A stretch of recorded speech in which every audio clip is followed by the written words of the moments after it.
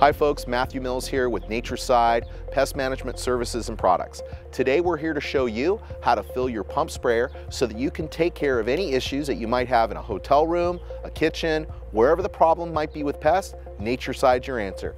Let me show you how to get started.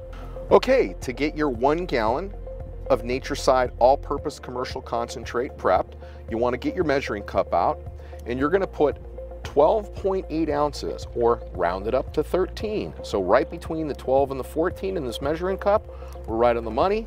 You're then gonna pour that inside of your one gallon container. Then fill with water to your one gallon fill line. Now we're gonna go treat a hotel room for bed bugs. This is Matthew Mills for Nature-Cide signing off.